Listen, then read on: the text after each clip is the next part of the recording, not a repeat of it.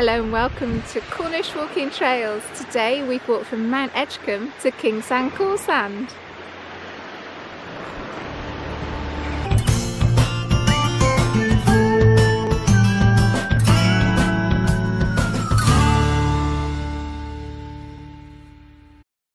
Our walk today is taken from Classic Walks Cornwall. It's number 60, the last one in the book, Mount Edgcumbe and Cawsand Bay. To help us grow our channel, please subscribe. So you join us today, we are in Cremyll. We're going to walk through the Mount Edgcumbe Park. It's actually a beautiful formal garden in there as well. We might explore that a little bit. Over to Kingsand. It's a six mile walk, so we need to get going. So we parked here today at the Cremyll car park. It's £4 for over four hours. Nice big car park, plenty of spaces. Cremyll is on the edge of Cornwall in the southeast corner. So instructions tell us to walk towards the sea.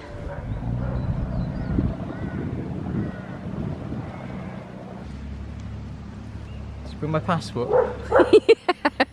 We're at the edge of Cornwall, Andrew. Can't get further up, can we? No, that's Devon. Plymouth over there. They don't know how to do a scone and cream tea over there. They do, they just get it wrong. Jam first. Our instructions say to walk towards Mount Edgcumbe House and the Orangery restaurant.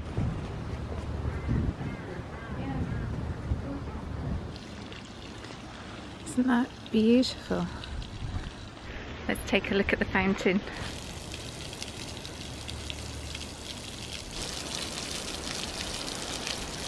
The great thing about these gardens, they're free and you can go and have a cup of coffee in the orangery.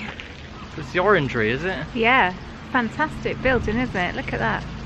It's not orange though, is it? Why is it called the orangery? it's where they used to grow oranges. Well, they couldn't be bothered to go to the oh, supermarket. So we're going between these really tall hedges. I reckon they're laurel. Or bay. Perhaps they're bay trees. Anyway, we go this way. So Mount Edgcumbe Estate is a large estate. It's got a deer park, but it's also got lots of follies. One of the lords and ladies that owned it some time ago, they liked building little follies. A beautiful folly, somewhere to sit and stare.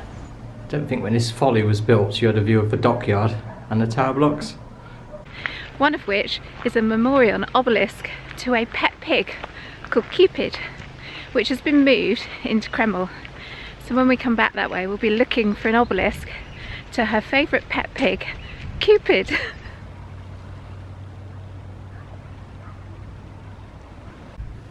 oh, now this looks interesting.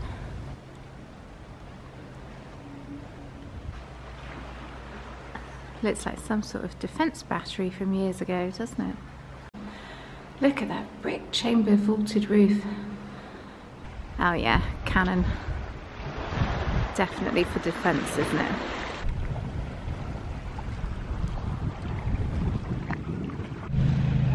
I think this is a little battery house. Look at the stone surround on that doorway entrance.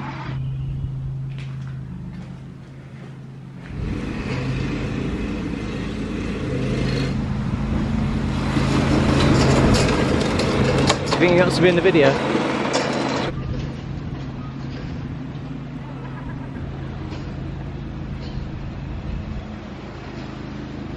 So we're following the southwest coast path, which hugs around the headland.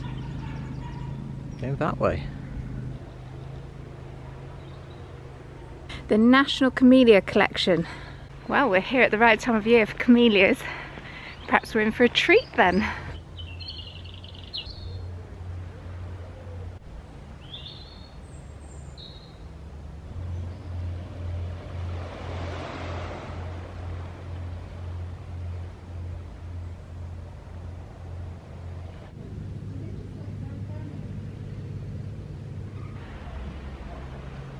And this is your view. Weird that they built these follies, isn't it? What do you think they use them for? Somewhere to ride to in the day. Ice cream shop.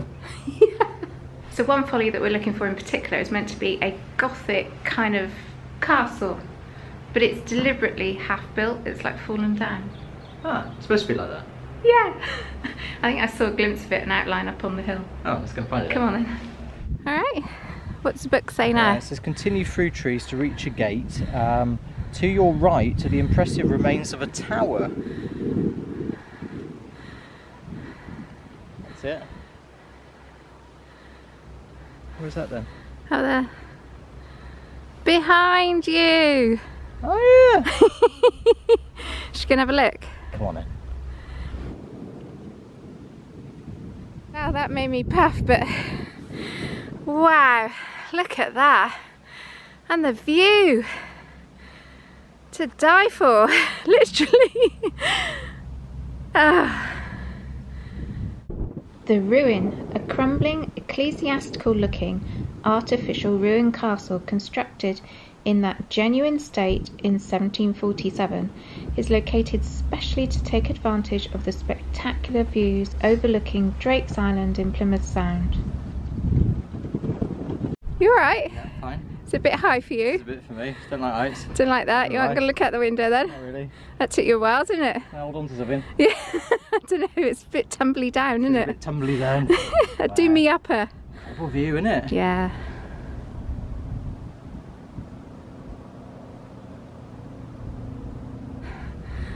Tugboats guiding that uh, barge out, aren't they? Drake Island. Oh, and Smeaton's Tower.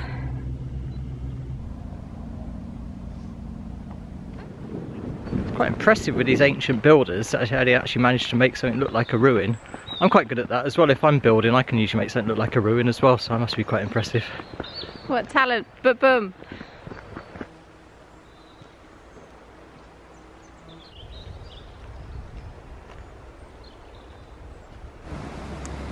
The breakwater in Plymouth Sound. A breakwater. Yeah. I know about about the breakwater. What do you know about I the read about it breakwater? before I came up here.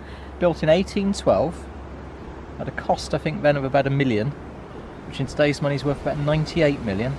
Cool, blimey. Well, I guess it's designed to like slow the sea down as it enters Plymouth Sound and protect the anchorages because this has always been a military base, hasn't it, from time immemorial? Yeah, yeah, very important military base.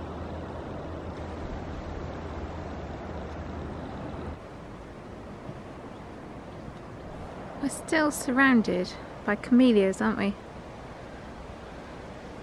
Seem to be everywhere. A stripy camellia, and it looks like it's trying to revert back to a red one. Look at that, on the same plant. So I think we're just leaving Mount Edgcumbe Estate, aren't we? Yeah, looks like it, And um, in the distance, a glimpse, our first glimpse of Kingsand Cawsand. Oh, it looks so pretty in the sunshine.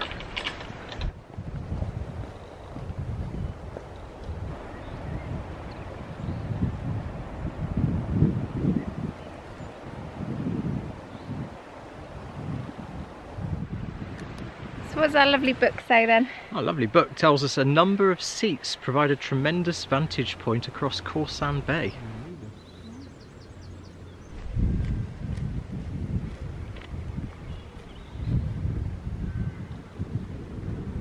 Our book takes us straight out the village again. Should we have a little explore of Cawsand, Kingsand? Yeah, come on then. Come on. Pub? Pub.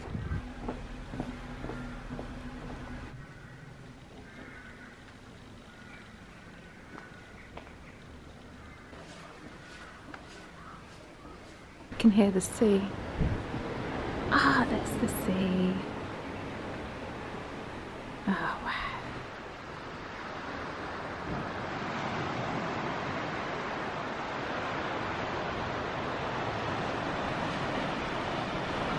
Beautiful, isn't it? Oh, it is, isn't it? Ah. The Sun's just gone in, but So these even little so- streets are so narrow. I know. Beautiful old cottages, aren't they? we've got the whole place to ourselves. Wow. Absolutely idyllic.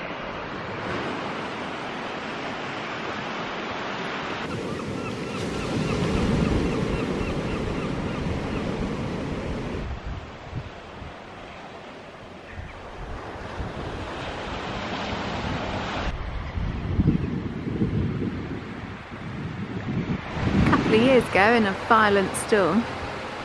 This bit was swept away, leaving the building just hanging. So this stone here on the clock tower says the clock and tower erected by the parishioners of Maker and Rame to commemorate the coronation of King George V, June the 22nd, 1911, and are the property of the above parishes. God save the King. The Halfway House Inn, Sarah. Yeah. Wonder why it's called the Halfway House Inn.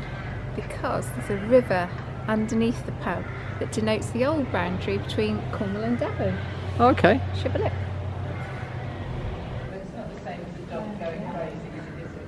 The old boundary. Cornwall. Yeah? Devon. Yes, indeed. Halfway point. And the boundary change was what, a couple hundred years ago? 1840, something like that, wasn't it? not that long ago, No. really, is it? No, Cornwall's Cornwall, isn't it?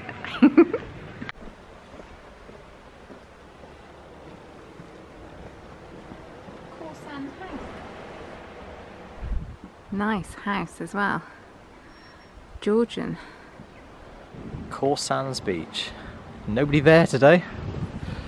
Middle of March. I'm sure in the middle of August. Yeah, different story. Must be a completely different story. Lovely beach.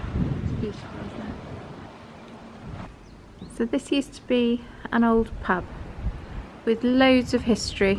The old Ship Inn.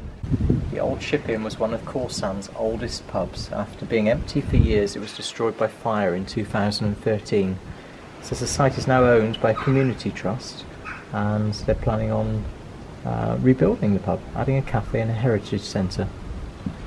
So the lady we've just been speaking to said it was arson and there was 11 fire crews here.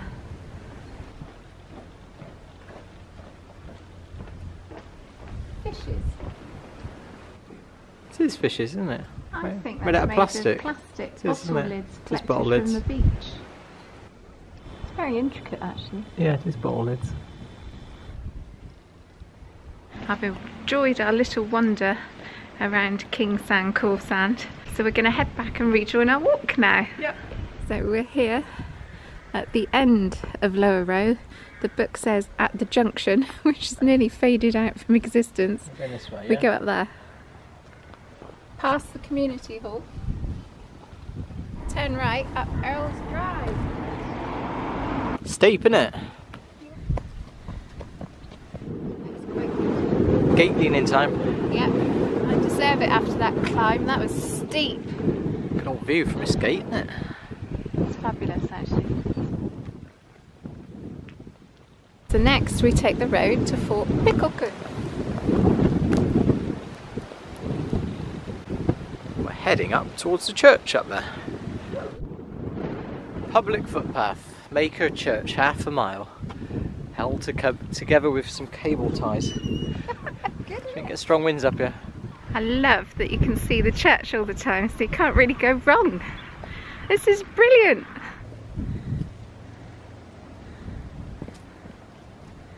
Church. I think we're at the highest point now and the book does say Maker Church has brilliant views, is that right? Certainly has. I've just seen the view to the left. Oh wow. The view to the right is pretty impressive. Oh well. my goodness me! Can see the Tamar Bridge, the road and rail bridge. Just in front is Torpoint. The white ferries, you can see them going back and forth, there they are, to Plymouth. Car ferries they are.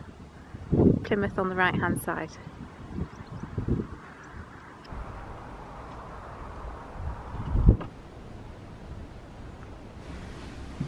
Okay, so the notice board confirms that the church is shut during the winter. Oi! My ear's lovely and warm. I want my hat back! Catch me. Back Can down the hill. Yeah. M Coombe one mile, Cremyll Ferry one and three quarters. Oi! My ears are cold.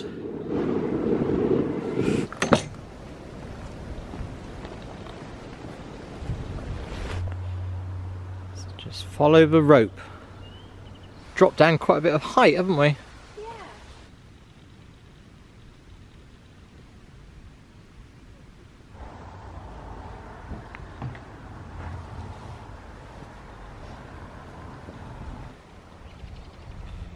Just enjoying this beautiful walk, this path beside the tributary to the Tamar. Don't know what that is on top of the hill. Are you perusing the book to see what this interesting fortification is? Yeah, it doesn't tell me. Oh, it's got a doorway and everything. It's got to be done.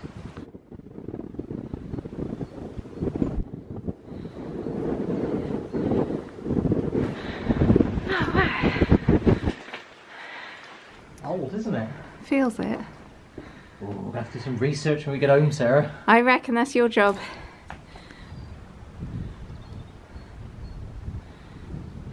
Romping around the Rame Peninsula. Great fun today, isn't I know, but I'm stu- I'm getting hungry. Getting hungry. Want my dinner? So I wonder if this is Empacombe. Follow Harbour Wall to gate on opposite side of harbour. Okay, so we must actually be going over private property. Oh, see the wall. wow. That is a proper wall, isn't? Oh, let's go and have a look. Jump over. Jump over. Yeah. You've only done five and a half miles. Look at the blossom. Very pink, isn't it? Oh. Absolutely stunning, isn't it? Look at that. Look at that. My goodness me. That's impressive. That is old, isn't it? And look at the garden here with all the camellias and everything. So tranquil, isn't it? It's very peaceful. I can't believe there's a major city Just over there. just over there. And this is on the opposite side. Fabulous. So there is a little bit of history about this little key. And I think it goes something along the lines of there's a quarry near here and they took all the stone from here to build the Eddystone Lighthouse. And here is the news. Read by me, Andrew, your anchor man. Oh, very It good. says walk up the tarmac driveway for a few yards before bearing left along a grass track, which we think is here. Been replaced. Empacombe House Oh yeah. driveway. So we're going to go up there. There is a path beside that wall by the looks of things. What have you found? Free book. Free book. Yeah, it says Dear Finder, Yeah. I'm a special book. I'm not forgotten, lost, or discarded. I was left here on purpose to find new readers on Oh, www.bookcrossing.com. Please release me again so I can travel on. Oh, let's do it. Let's do it. lovely, Oh, what's it oh, called? Lucky. Called Lucky. Lucky. Lucky. Lucky. Oh, I love it. I love it. Isn't that brilliant? Yes. I love this. This is a really good idea. Wow. We'll have to visit that website now. Okay, the light is now failing. But there it is. There's a monument to a pig. Amazing. A memorial to a pig. Yeah, a pet pig called Cupid. Really? It was on the Mount Edgcumbe estate and they moved it. Was it house trained, do you think? I reckon it went everywhere with her. Look at me with my pig. Yeah, I know, it's bonkers, isn't it?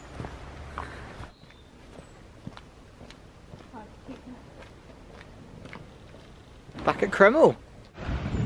Wow. Lovely, isn't it? Our walk today is taken from Classic Walks Cornwall. It's number 60, the last one in the book, Mount Edgcumbe and Cawsand Bay. Six miles today. A quick look at the map. We start up in Cremyll, hug the coast all the way to Kingsand, Cawsand, and back over the headland, back to where we parked the car. Six miles. Brilliant! Yeah, it's been relatively easy as well. I've been surprised how easy going it was. It's just at one stretch coming out of Kingstown when it was quite steep. Bit unfortunate that the book only takes you around the edge of Kingstown. Yeah, we obviously had a bit of an explore and we'd recommend you do so as well because it's really beautiful down there. Yeah, so that, that might be a reason to mark it down. And also there wasn't any information about Maker Church. No, so the book did lack a little bit of information, but the book's quite old and the walk still works. It still works and everything is signed beautifully and I've really enjoyed this. What would you score it? been a fantastic day today. I'd give it an 8 out of 10. 8 out of 10 for those two reasons? Yeah, I think that's probably fair. Yeah, but come and do this walk, it's fantastic. Brilliant.